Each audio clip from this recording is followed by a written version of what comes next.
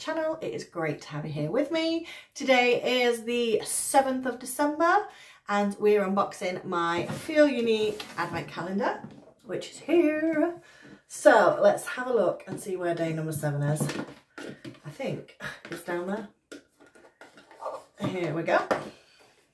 Don't forget, if you haven't subscribed, click subscribe and comment because I do like a chat. Right, that's quite a good size. So this is 30 mil and I've never used this brand. It's Lixir Skin, L-I-X-I-R Skin. Um, and it's their universal emulsion. So this is like uh, a multitasker and I do love a multitasker because you can use it for uh, various things. So this is a day, moisturizer, uh, day moisturizer, a night cream or a serum base in one.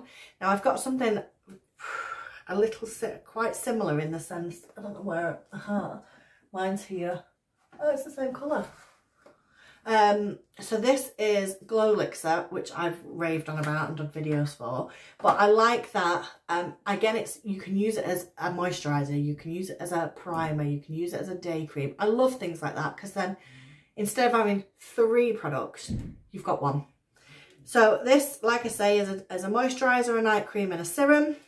Um, and it says warm in the palm of your hands and apply to your face eye contour, lips, neck, decolletage, hands and arms. Oh, so even like hand cream as well. So I'm really impressed with that.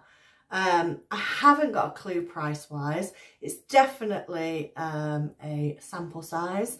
Um, so there will be a bigger, big, a bigger, a bigger version of it. So I'll have to have a look and put a price up for you. But um, I'm really intrigued to try this and see what I like it best for.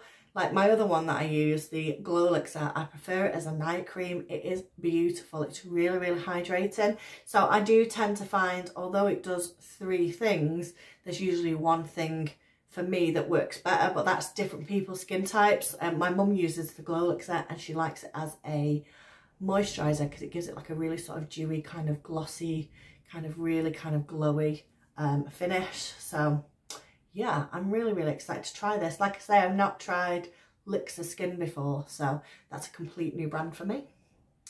Well, thank you very much for watching. Tomorrow is the 8th. I can't believe how quick December's going. We're eight days into my advent calendar already. I'm really pleased with this advent calendar. So far, I'm not sure whether I prefer the Look Fantastics and the glossy boxes of the advent calendars I had before, but so far, I'm enjoying it. What do you think? Don't forget, like, comment, subscribe, and I'll see you very soon. Tomorrow, indeed. Bye.